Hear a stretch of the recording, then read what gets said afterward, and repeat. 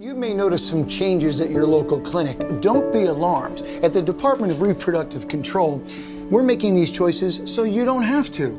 Trust us. I came here to get an IUD and they gave me information on the rhythm method. The pamphlet is free. I needed an STD test. But with our new emphasis on abstinence only education, we can assume she's A OK. I wanted to learn all my options concerning my pregnancy. But now I can't even tell her about abortion. Don't worry, we've been testing these changes out on poor people and other marginalized communities for years. The broader population never seemed to notice, so now we're rolling them out nationwide. The Department of Reproductive Control may not be real yet, but these policies are, and the threat is real. Go to the drc.us to take action now.